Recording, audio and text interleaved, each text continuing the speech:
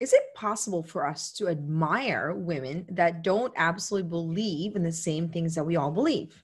Right. So if I am a vegan and I have somebody who is, you know, steak, advertising steak and how good meat is for you, can I take a quote from that woman when she's talking about the importance of protecting our environment and maybe admire that part of her and not blanket her as this crazy woman. Therefore i should never even you know engage her in conversation or be very careful in um, honoring the good in her. So this is a major problem ladies okay? Because of the work that i do and what i do is i teach women from every different forms of uh, you know every different i'm sorry every different walks of life every different culture, different belief system, different way of thinking, because the foundation of being woman and human is basic. And so I have women who say, January, I cannot believe you got that quote from that woman. I disagree with her. January, I cannot believe that you are, you know, um, following that crazy person. Um, I just think that, you know, I, I don't even want to like your page. I've had this woman who said, January, I don't want to like your page because of somebody you're following. That's totally fine but here's my gentle challenge for you, ladies. Is it possible for us to honor the good in people and not nitpick their life? Is it possible for me to say, you know, I love that part about her? That's actually so good. She's doing something so beautiful for you know africa or for you know for women or for the children or for mothers or for politicians but you know what that part of her i'm not crazy about but I have the eyes and the maturity to honor people and women in spite of me not loving every part of them.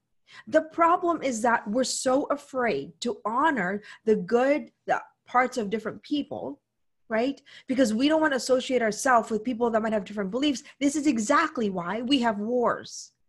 That we can't acknowledge the good parts of women, of men, and say, oh, don't want to touch that with a 10 foot pole.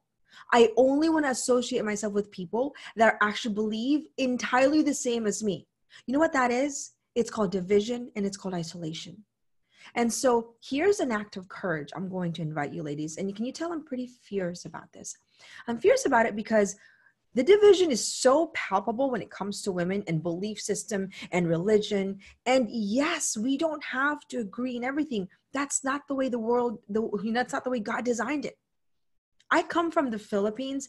We have very different belief system and the way we do things and and the way we, you know, we our culture, right? But then I'm also very American.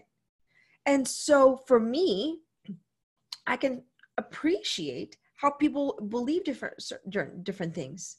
The danger is when we are so afraid to associate with a different with people that might not have the entire belief system that we believe and we almost blanket them and judge them and nitpick their life and we are walking into the same kind of woman that's causing division in the world. So my gentle challenge for you ladies is don't be afraid to honor the good in people that might not have the entirely belief system that you do. You know i get um I get criticized for this quite often. And I will tell you, you know, January, I cannot believe that you um, are studying um, Napoleon Hill, which is Think and Grow Rich. I picked up that book not because of money. I picked up that book because I was in a crisis of trying to figure out what I was here on earth for. And somebody recommended the book because they said, oh, it's not really about money. It's really about your riches and contrib- contribution towards humanity. So I picked that book up.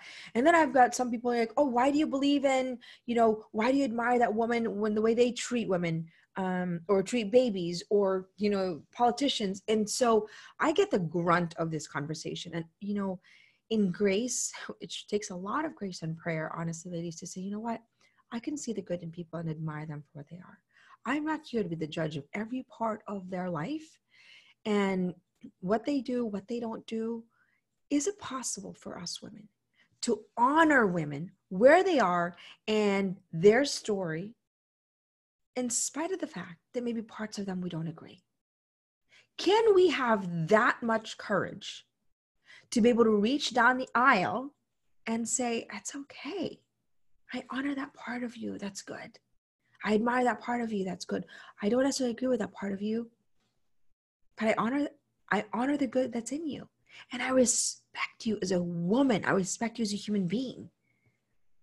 And be at peace with the fact that that's our role. That's our role as women is to bridge the gaps. Can we sit and break bread with people who don't believe in the same things? And what is the consequence if we don't?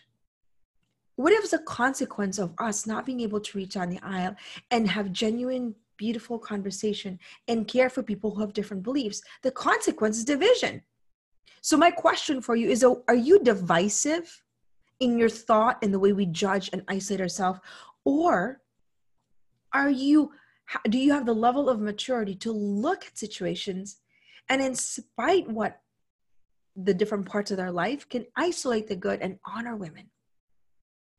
And I think it's time for us to be that kind of woman. I think there's enough division, there's enough anxiety, there's enough anger, there's enough palpable separation that's costing us our freedom.